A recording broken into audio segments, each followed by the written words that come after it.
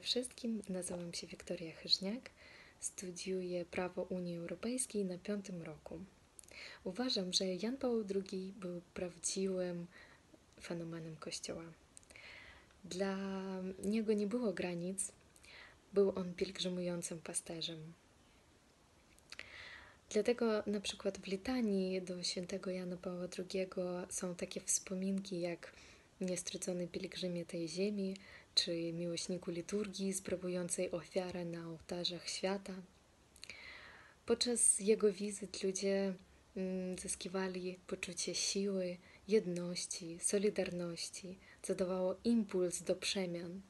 Papież też przyczynił się do obalenia komunizmu w naszych państwach, czym mu bardzo zawdzięczamy. I teraz żyjemy w wolnych, demokratycznych krajach.